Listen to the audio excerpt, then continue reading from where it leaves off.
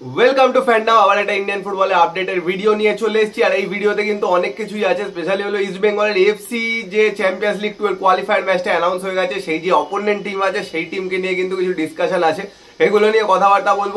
তারপরে আপুইয়া হয়ে গেছে, এরপর কি ছাঙতে হবে? সেই নিয়ে তোমাদের প্রশ্ন, তো সেইটা নিয়েও কিন্তু যতদূর আপডেটস আছে, সেইগুলো নিয়ে কথাবার্তা বলব।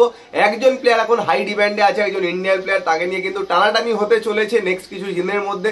তাকে নিয়েও কথাবার্তা বলব, আর ইস্ট বেঙ্গল টিম কেমন তৈরি হচ্ছে কি কি এখনও, কোন কোন প্লেয়ার নেওয়া বাকি, যতদূর আপডেটস আছে সেগুলো বলব। আর একখানা তো মেজার জিনিস দেখেছ ইন্ডিয়ান টিমের কোচ স্যাক হয়ে গেছে। নতুন কোচ কে হতে পারে, কাকে পছন্দ করছে আইএফএফ সেই সব নিয়েও বলব। সবার আগে যে কথাটা, এখনও যারা সাবস্ক্রাইব করনি ইউটিউবে অবশ্যই করে নিও। আর ফেসবুক আর ইনস্টাগ্রাম পেজে কিন্তু ফলো করে নিও, ওখানেও কিন্তু এরকম রেগুলার আপডেটস আসতে থাকে। ইউটিউবে এখন ব্যস্ততার জন্য হয়তো রেগুলার ভিডিও দিতে পারছি না, কিন্তু আগামী কিছুদিনের মধ্যে আবার দেওয়া শুরু করব, আশা করা যায়। কিন্তু ইউটিউব ফেসবুক আর ইনস্টাগ্রামে কিন্তু সব আপডেট দেওয়া থাকে পোস্ট করে, তো অবশ্যই গিয়ে কিন্তু ফলো করে নাও। তো প্রথমে আগে এফসি চ্যাম্পিয়ন্স লিগ টু এর কিন্তু যে কোয়ালিফায়ার ম্যাচটা আছে, যেই ম্যাচটায় জিতলেই কিন্তু এফসি চ্যাম্পিয়ন্স লিগ টু তে খেলতে পারবে ইস্ট বেঙ্গল তো সেটা নিয়ে বলি। আর ওই ম্যাচটা কিন্তু হেরে গেলে এফসি চ্যালেঞ্জ কাপে খেলতে পারবে ইস্ট বেঙ্গল তো জিতলেও খেলতে পারবে, একটা হারলেও খেলতে পারবে, কিন্তু জিতলে হায়ার ডিভিশনটা খেলতে পারবে। সেই জায়গা থেকে বলি, যেই টিমের সাথে খেলা, সেই টিমের নাম হলো এলটিন আইসার এই টিমটা কিন্তু তুর্কমেনিস্তানের একটা টিম আর তোমাদের বলে রাখি দু হাজার আঠেরোতে এই টিমটা কিন্তু এএফসি কাপে রানার্স আপ হয়েছিল ফাইনালে গিয়ে হেরেছিল এবং সেই সিজনটাতেই কিন্তু বেঙ্গালুরু এফসির সাথেও ম্যাচ ছিল, যেখানে একটা ম্যাচ তিন দুইতে বেঙ্গালুরু এফসিকে হারিয়েছিল আর একটা ম্যাচ কিন্তু দুই শূন্যতে বেঙ্গালুরু এফসিকে হারিয়েছিল। বেঙ্গালুরু এফসির সাথে দেখা হয়েছিল কিন্তু ইন্টারজোনাল প্লে অফ সেমিফাইনালে যেখানে কিন্তু বলতে গেলে বেঙ্গালুরু এফসিকে দাঁড়াতেই দেয়নি। তো এই টিমটা তুর্কমেনিস্তানের কিন্তু দুটো মানে বলতে গেলে বেস্ট টিমই একটা বেস্ট টিম ওই বুন্দেস লিগা যেরকম দেখো বায়ান মিউনিক একটা বেস্ট টিম মাঝে মাঝে অন্য একটা টিম এসে জিতে যায়। এখানে হলো সেরকমই মানে এটা হলো তুর্কমেনিস্তানের বায়ান মিউনিক পর পর আটবার কিন্তু চ্যাম্পিয়ন হয়েছিল দু হাজার চোদ্দ থেকে একুশ অব্দি আর তার মাঝখানে কিন্তু দু হাজার আঠেরোতে যেটা বললাম এএফসি কাপে কিন্তু রানার্স আপ হয়েছিল। অসাধারণ একটা স্টিন্ট গেছিল এই আট বছর।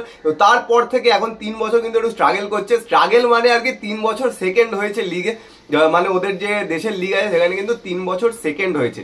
হয়তো সেই দু হাজার আঠেরোর মতো টিম নেই, কিন্তু তবুও কিন্তু যথেষ্ট ভালো টিম মানে এফসি কাপে কিন্তু রেগুলারলি খেলতো, একবার রানার্স আপ হয়েছে। বেঙ্গালুরুর সেই দু হাজার আঠেরোর মতো স্ট্রং টিমকে কিন্তু মানে বলতে গেলে উড়িয়ে দিয়েছিল। তো খুব একটা কিন্তু ইজি হবে না। কিন্তু ইস্ট বেঙ্গলের কিন্তু মানে এখন দু মাসের চেয়েও কিন্তু কম সময় বাকি আছে, বুঝতেই পারছ। চোদ্দই অগস্টে কিন্তু ম্যাচ হোম অ্যাডভান্টেজ পাবে কিন্তু ইস্ট বেঙ্গল কারণ যুব ভারতীতে খেলা হবে, প্রচুর লোক থাকবে, বিশাল সাপোর্ট থাকবে। কিন্তু এখন থেকেই কিন্তু ইস্ট বেঙ্গলের পুরো টিম গঠন করে প্র্যাকটিস করা কিন্তু শুরু করে দেওয়া উচিত, যাতে ওই ম্যাচটায় ভালো খেলে চ্যাম্পিয়ন্স লিগ টুতে কোয়ালিফাই করতে পারে। তো সেই অপোনেন্টের ব্যাপারে আশা করি তোমাদের ক্লিয়ার হয়ে গেছে মানে খুব একটা কিন্তু ইজি অপোনেন্ট নয়। তুর্কমেনিস্তানের টিম মানে খুব ইজিলি বেরিয়ে যাবে, এমন কিন্তু নয়। ইস্ট বেঙ্গলের টিম গঠন করে কিন্তু পুরো জেল আপ করে যেতে হবে, যাতে কোনো চান্স না নিতে হয় এই অপোনেন্টের এগেনস্টে তো এইবার চলে আসি, তার পরের নিউজে যেটা হলো, আপুইয়া তো দেখেই নিয়েছো, আপুইয়া কিন্তু মোহন মানে সাইন করে নিয়েছে। তো অ্যানাউন্সমেন্টও চলে আসবে দু, তিন দিনের মধ্যে যে আপুইয়াকে নিয়ে অ্যানাউন্সমেন্ট করে দেবে। আর যেটা হলো, একটা বিশাল বড় কথা চারিদিকে দেখেছ আঠেরো কোটি, বাইশ কোটি, সেই সব তো জানি না কত কোটি দিয়ে সাইন হয়েছে। আঠেরো কোটি, বাইশ কোটি এটা ইম্পসিবল ব্যাপার, কারণ অত টাকা দিয়ে কিন্তু কোনো বিদেশিও বলে অত স্যালারি দেওয়া হয় না। তো যাই হোক, কিন্তু একটা বড় স্যালারি দিয়ে মানে ইন্ডিয়ান প্লেয়ারদের মধ্যে হয়তো বেস্ট স্যালারি আপুইয়া পাবে মানে রেকর্ড স্যালারি কিন্তু আপুইয়াই পাবে। আর যেটা মেন কথা যেটা অনেক দিন আগে বলেছিলাম যে আঠেরো কোটি তো করা হচ্ছেই স্যালারি ক্যাপ কিন্তু দুজন প্লেয়ারকে ইন্ডিয়ান হোক, বিদেশি হোক, দুজন প্লেয়ারকে কিন্তু এই স্যালারি ক্যাপের বাইরে নিতে পারবে। তো আপুইয়াই কিন্তু প্রথম এরকম প্লেয়ার মোহনবাগানে যে কিন্তু স্যালারি ক্যাপের বাইরে থাকবে। তোকে কিন্তু যত খুশি অফার করতে পারে, কোনো কিন্তু বাধা নেই। তো সেই হিসেবেই কিন্তু অফার করেছে আপুইয়াকে নিয়েও নিয়েছে। দেখতেই পেয়েছ কিন্তু তোমাদের আরেকখানা যেটা হলো প্রশ্ন যে এরপরে কি ছাংতে আসছে, ছাংতে কেউ কি আনবে? তো আগেই বলে দিই, ছাংতে কিন্তু মুম্বাই সিটি এফসি ছাড়বে না। আর ছাংতের সাথে কিন্তু সেরকম কথাবার্তাও হয়নি, ছাংতে কিন্তু মুম্বাই সিটি এফসিতেই থাকছে। এটাই কিন্তু আপডেট যে মোহনবাগানে ছাংতে আসছে, তিরিশ কোটির ডিল সেইগুলো কিন্তু এরকম কিচ্ছু কিন্তু হয়নি, যতদূর আমাদের কাছে আপডেট আছে। কিন্তু এর আগেও ভুল হয়েছে, দেখেছ? এবারও ভুল হতেই পারে, সেটা বলা যায় না, কিন্তু আমাদের কাছে কিন্তু আপডেট আছে। ছাংতে কিন্তু কোথাও যাচ্ছে না, ছাংতে কিন্তু মুম্বাই সিটি এফসিতেই থাকছে। আর বলে দিই মোহনবাগান একজন যখন স্যালারি ক্যাপের বাইরে এনেছে, আরেকজনকেও কিন্তু স্যালারি ক্যাপের বাইরে আনার চেষ্টা করছে। মোস্ট প্রবলি সে কিন্তু বিদেশি, কে বুঝতেই পারছ একদম শুরু থেকে যার নামের পিছনে কিন্তু সবাই ছুটছে, সেই কিন্তু আসতে পারে যে জেমি ম্যাকলারেন কিন্তু এখনও কিন্তু সেটা নিয়ে নেগোসিয়েশন চলছে। কিন্তু মোহনবাগান ম্যানেজমেন্ট এত বড় একটা ডিল আপোয়ার সাথে করেছে জেমি ম্যাকলারেনের সাথেও কিন্তু করতেই পারে। আর স্যালারি ক্যাপের বাইরে থাকলে বুঝতেই পারছ যে যত খুশি তত কিন্তু অফার করতে পারবে। তো সেই জায়গা থেকে যে মিডিল ইস্ট থেকে অফারগুলো আছে, সেগুলো হচ্ছেও কিন্তু বড় অফার করতেই পারে মোহনবাগান, করে কিন্তু ছিনিয়ে নিতে পারে। তো ওই স্পটটা কিন্তু জেমি ম্যাকলারেনের জন্যই এখনও রাখছে। তো দেখা যাক জেমি ম্যাকলারেনকে আনতে পারে মানে one of the biggest deals in Indian football কিন্তু হবে সেটা। তো এবার চলে আসি বাকি কথা নিয়ে, যে ইন্ডিয়ান কোচের কথা বললাম। মোহনবাগানের কথা তো বললাম ইস্ট বেঙ্গলের কথাও বললাম। এবার ইন্ডিয়ান কোচের কথা বলি কোচ তো স্যাক হয়ে গেছে, বিশাল কিছু কন্ট্রোভার্সি হবে এখন নেক্সট কিছু দিনে দেখতে হবে, অনেক কিছু হবে, কারণ চারিদিকেই করাপশানে পুরো একদম ভরে আছে।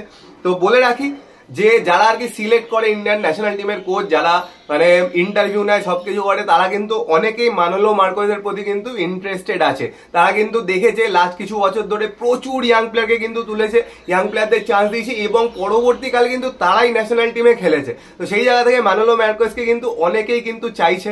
তাছাড়াও, ওয়েন কয়েলকেও কিন্তু মানে রেখেছি আর কি। এরা যদি চায়, এরা যদি ইন্ডিয়ান টিমের কোচ হতে চায়, তবে এদেরকেও কিন্তু সেই প্রসেসের মধ্যে রাখা হতে পারে। এখন কিন্তু অলরেডি সিবি টিভি নেওয়া হচ্ছে, শোনা যাচ্ছে নাকি পাঁচশো সিবির ওপর পড়তে পারে। তো সেই জায়গা থেকে দেখা যাক। তোমাদের কি মতামত? ওয়েন কয়েল বা মানলো মার্কোজের মতো যদি এরা কোচ ইন্ডিয়ান টিম পায়, তাহলে কি ভালো হবে নাকি? কোনো আরও নতুন এরকম এক্সপেরিমেন্ট করে ইগস টিকাচের মতো কোচ আনা উচিত? তোমাদের কি মনে হয় যারা ইন্ডিয়ান ফুটবল ফ্যান অবশ্যই কিন্তু কমেন্ট বক্সে কমেন্ট করে জানিও।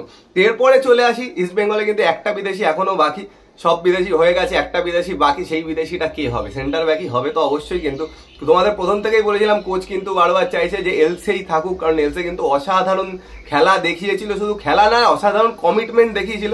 সেই জায়গা থেকে বুঝতে পারছ, এখন কিন্তু দু মাসের চেয়েও কম বাকি।